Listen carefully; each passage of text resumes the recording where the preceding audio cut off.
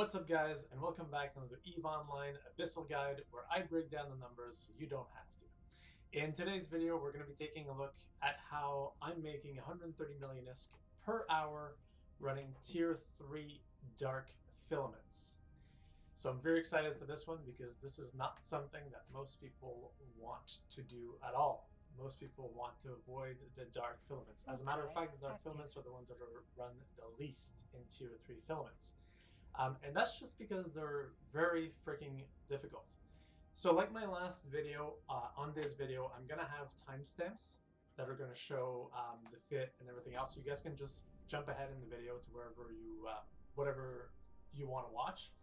Um, and the first thing we're gonna do is we're gonna go over the fit itself, um, the skills and the implants.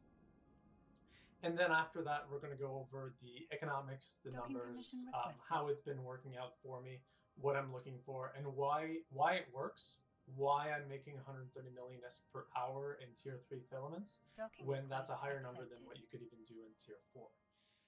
All right, guys, so let's take a look at the fit. So we're running the Gila, and it's a pretty expensive setup, but you'll find that it's totally worth just as I have. So this is a total fit, uh, all the different stats. You guys can pause the video, take a screenshot if you want. There's also going to be a link in the description um, to the actual fit on the Abyss tracker. Uh, but let's go through it real quick over here. So first things first, in the missiles, we have three rapid light missile launchers, too, and a heavy missile launcher to blow up the cache a small tractor beam to help out with uh, the work of pulling in the, the wrecks. In the mid slots, everything is geared towards um, getting our 21 EHP simulated here, 25.5k EHP, um, as well as a fleet, fleet stasis webifier and a uh, large cap battery to make sure that we're stable and that we're able to slow down the opponent's ship. In the lows, we've got our faction drone damage amplifiers. So these are the sentient because they were the cheapest for me. But you guys can buy whatever you want, whichever, is cheaper for you, uh, as long as it's one of the faction ones. Otherwise, the fit won't actually work. In the rigs, we have our medium core defense field purger 2, just to increase the natural um, uh, shield regen. We've got a medium drone scope chip 2, that's going to help our drones with their optimal range. And then we have a medium capacitor control circuit too as well. In terms of drones, we're using the Vespas 2 and the Caldari Navy Vespas. You can use the augmented uh, Vespas as well, but they're very expensive, and there are a few rooms that will immediately target your drones the second you come into the room.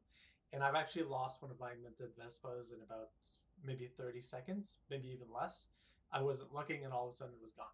Um, so it's an expensive thing to lose. I think it was 32 million ISK. Not really worth it. Um, it does boost your DPS a little bit. I think with the augmented Vespas, you could look at 830 DPS in total, uh, but it's not really worth it. You don't necessarily need it. We're clearing the rooms fast enough as it is. In the cargo, we've got a pack rat MTU. This is going to be fairly important to pull in all the wrecks. And then we have a couple of extra drugs that combined together can give you an extra 6% shield boost in case you need it. In terms of shield boost, currently we are at, guys, 57 points, 50, yeah, 57 HP per second. So additionally on top of that, I am running a couple of implants just for a bit of extra safety. So what I've got here is the shield management for an extra 3% to my total shield, and the shield operation for an extra 3% to, I believe, the boost. Um, so it's not much. Uh, it does make a bit of a difference overall, though. It does help you get a little overtanked, and um, and that's that's how we like to do it. Um, these two together are about 45 mil extra in total. And now let's go over the skills. Um, so first and foremost, let me just show you guys the drone skills. Um, so you guys can take a screenshot of this or just pause the video, take a look at what these levels are. This is what I need to, uh, to reach the DPS levels for the drones. Um, in terms of shield, we're over here, do the same thing. Engineering. And then specifically for the Gila, so my Gallente Cruiser level is level 5, and my, my Caldari Cruiser level is level 4 currently. Um, I do believe if I took the Cruiser, Caldari Cruiser level to level 5, I'd probably go up by another 2k in EHP, maybe an extra 1500 EHP, which could be useful. All right, so how the hell am I making 130 million ISK per hour? So first and foremost, I'm using dark filaments, which are absolutely dirt cheap. Okay, so compared to, let me show you guys here. Um, yeah, so compared to electrical filaments, which are 4.6 mil, or exotic filaments, which are 4 mil, I'm using a filament that is on average here 168 mil at sell. So overall, from the get-go, if you can run four or five filaments in an hour, you're already saving 15 to about 20 mil just in filament costs, which already makes a really big difference. The other reason why we're making quite a bit more is because of the rare drops. Okay, so um, the rare drops that are sort of more frequent in their own filament type. Um, so for example, in dark filaments, you'll typically get uh, microwarp drive mutaplasmid and afterburner mutaplasmid. Okay, so these are the more common ones that drop in the dark filaments. Because there's less of them on the market, you're actually um, getting items that are worth quite a bit more right away from the get-go. Then additionally, on top of that, the Raging Gamma filaments have been quite the ISK maker, and so have the uh, Raging Electrical, since everyone is going crazy on Tier 4 electrical right now. So that's amazing for us. It's giving us quite a bit more profit. Um, on top of that, I'm running them really quickly. Um, so on average, I'm going to show you guys my number here on the Abyss tracker. Um, okay, so this is my fit, um, and these are all of my runs down here. So unfortunately, the Abyss tracker is not tracking the time properly, nor is it tracking the average million ISK per run properly either. So what I did is I took all these numbers and I went ahead and I put them into um, this spreadsheet here. So unfortunately, my face cam is blocking the numbers on the top left here. Um, but what I did is I had one run that had an unknown run time, so I just put in my average time in it, which is 12 minutes and 14 seconds. Um, total time in the Abyss for all of these runs, 318 minutes. Total ISK, almost 700 million. Uh, average ISK per run, almost 27 million. And average ISK per hour, 131.7 million ISK.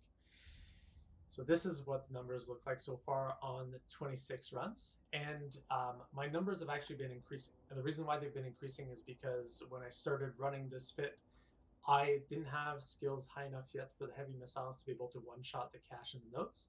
And I wasn't running a pack rat MTU, I was just running the normal one, which doesn't pull in the wrecks as fast. So what happened is I would actually clear the room, and then I wouldn't be done yet blowing up the nodes and pulling everything in. Um, so it was taking me quite a bit longer at the beginning. And now as I'm getting better, as I'm learning how to little tips and tricks to go faster, um, I'm actually bringing my runs closer to about 11, 11 and a half minutes, which basically allows you to do five runs and maybe start a sixth one in the hour, which is pretty freaking awesome. Now the beautiful thing is that this is comparable to running tier 4 filaments. So in tier 4 filaments, your average loot, I believe, is right around 40 million ISK per run. And on average, it takes about 15 minutes to run them. So you can run four per hour, which means you're looking at about 160 million ISK for your um, raging runs. Let's see here. Actually, 37 million ISK per run. But let's round it up. Let's say you're making 160 million ISK on average per hour. But then you go in here and you actually need to spend 16 million for each of your electrical filaments, which means another 60 million goes out the window. So you're back down to 100 million in profitability. Um, if you're using the exotic, you're at 10 million. If you're using the gamma, you're at 7.5. It doesn't really matter which way you cut it. If you're running gammas, you're going to be making about 130 million S per hour. If you're running exotics, about 120. And if you're running electrical, you're going to be making about 100. And this is all in Tier 4, where you're exposing your ship and your investment to a lot more risk, to rooms that are a lot more difficult. And that's why I went ahead and I figured out how to make the same amount of risk in Tier 3 filaments. All right, let's go ahead and undock.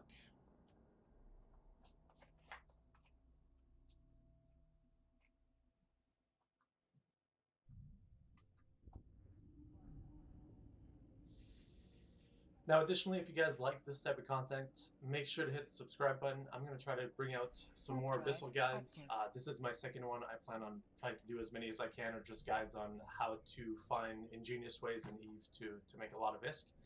Um, and if you uh, have some ideas on how I could improve this fit or how you're running tier 3 darks or how you're running tier 3s in general, what your returns have been like, uh, make sure to hit that, uh, that comment section. Let me know what you guys think of this video. Um, I love to, to hear more. I'm, I'm very new to this game, so I'm still learning quite a bit. Um, and uh, yeah, let's jump into some of the filaments here. So I typically only bring five filaments per go, um, a couple of, uh, of the drugs here as well, just in case. Um, and what we're going to be doing when we jump in here is we're going to be targeting down first whatever ships cause a threat to us. We're going to be putting the drones on those. Um, and we're going to start shooting the nodes if there's uh, if there's a lot of them. If there aren't a lot of them, we're just going to start um, putting the heavy missiles on the cruisers or on the battleships as well. So let's see what we get here. Um, direct back. Alright. And we're just going to approach the gate. So automatically I approach the gate. Now we've got a lot of cash here, so I'm going to go ahead and blow up the bio immediately. Um, and we're going to go ahead and put the drones on the um, on the Drekavac immediately here. Alright, and I actually turned off my afterburner by mistake here. Okay, and uh, these nodes are actually fairly far, so that's going to be slightly annoying.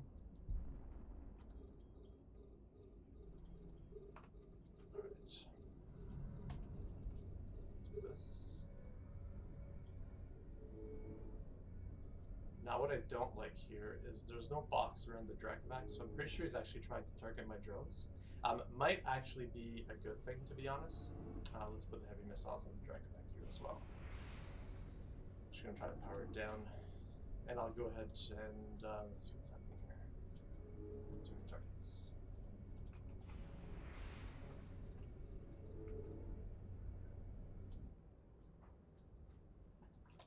Alright, so something else I'm gonna do here really quick is I'm actually just going to target the cache and it just blew up.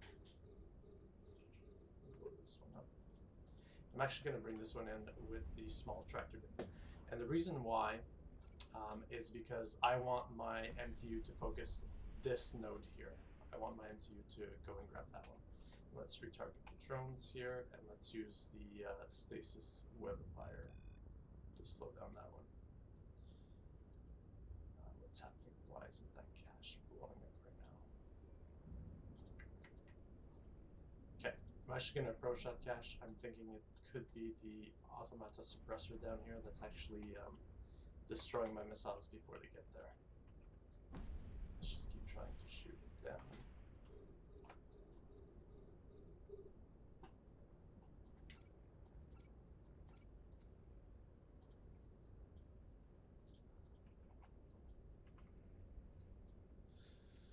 Alright, so I'm just making sure that my drones are targeting the most dangerous ships first. There we go. This is kind of all over the place this morning.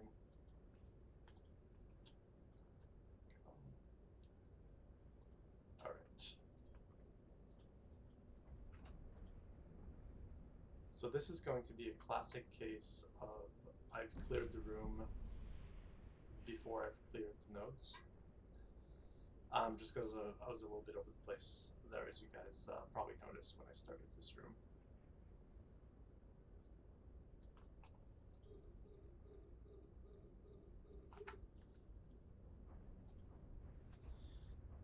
I have 54 kilometer uh, or 55 kilometer missile range on my heavy missile launchers, so that's what I'm using to uh, to determine when I turn around and I start approaching the different caches and stuff like that. Um, ideally, I could research the skills to kind of try to bring that up a little bit. It would be ideal if I could bring it up to 60 kilometers. It would make things a little bit faster to clear the, the nodes as well, for sure.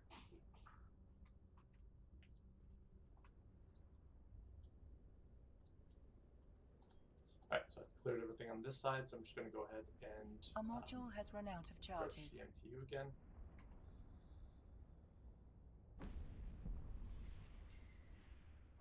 There you go, room cleared.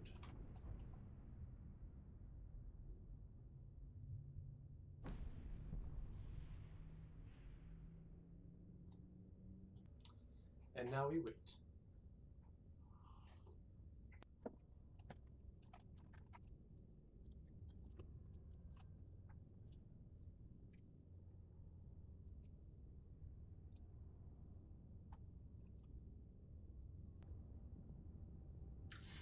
Right, so 7.1 mil in the first room. So never forget to scoop back up your, your mobile tractor unit because that is a pretty hefty loss if you forget that in the room. Also, as you guys noticed, um, my first Vespa up here actually took some, some armor damage earlier. I wasn't paying attention. I think the Drekavac managed to land a few shots on it. Um, so you do want to be aware of that. Okay, this is a very, very easy room. Lots of nodes again, so I'll target the nodes first because they're actually potentially going out of range fairly quickly here. And now let's throw out the drones, and we'll actually target the Rodivas first. Um, they do a little bit more damage than the, um, I believe they do a bit more damage than the Kikis, so let's just target those guys down. Also, these guys uh, are really good at uh, remote armor repairing, so that's part of the reason as well why. Uh, ooh, I may not have done this properly. Can I do this? How fast can I do this?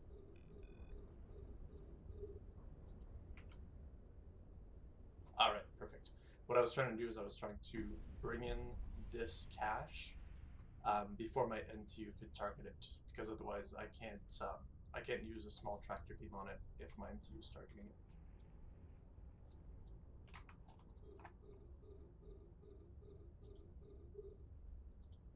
Alright, let's blow up the last one here.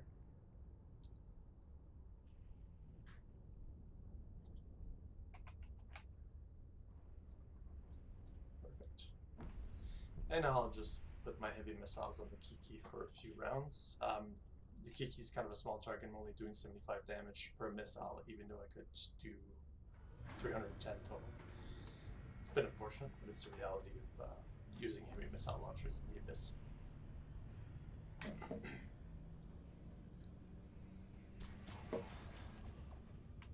Alright, so we actually blew up a couple of nodes over here that don't have anything in them, so let's just go ahead and open up this MTU, see what we got. 2.6, a little unfortunate. But that is how the numbers fall sometime.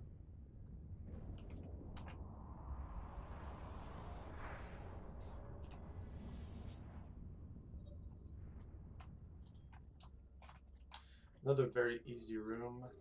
Um, a couple of Vedmaks. A few, few caches here. Let's see what we have. So this one down here. Okay, I'll, I should be able to target all these. Perfect. Let's pull this up. The missiles. I'm actually, uh, damn it, I'm actually reloading my light missiles here. That would have made a decent difference on the uh, on the Vedmak.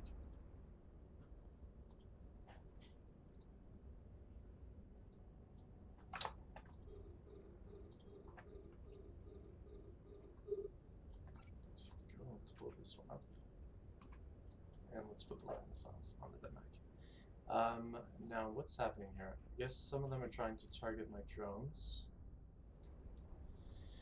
And you see my Vespas are missing quite a bit. Um, that's because the Vedmaks are not targeting me. They're not orbiting close enough for me to use the, the stasis whip fire, which is a little unfortunate, but that's the reality.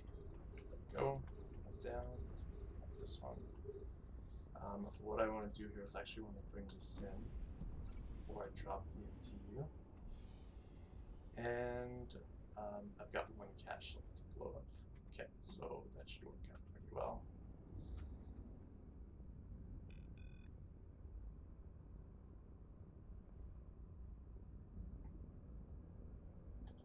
No, I should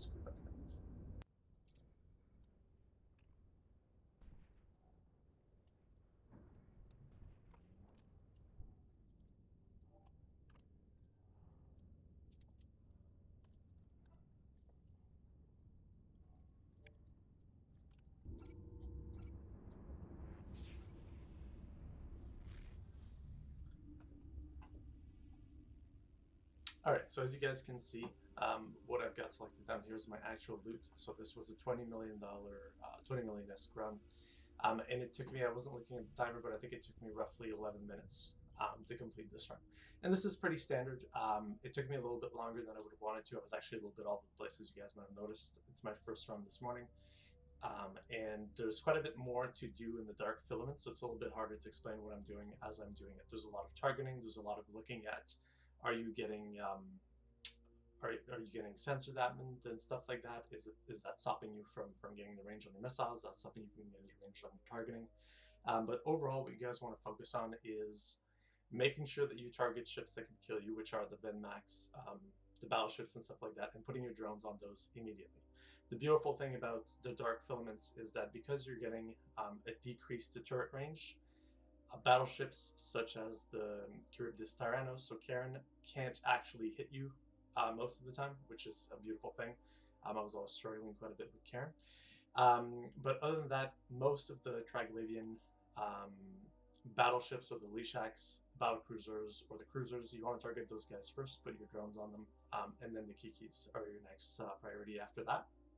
And then you want to be aware of all where the, where all the nodes are on the on the field, and this is important because you might have to um, hold back a little bit at first to maybe target some drones that are not some drones, but target some nodes that are right around the spawn point, and then move towards the gate.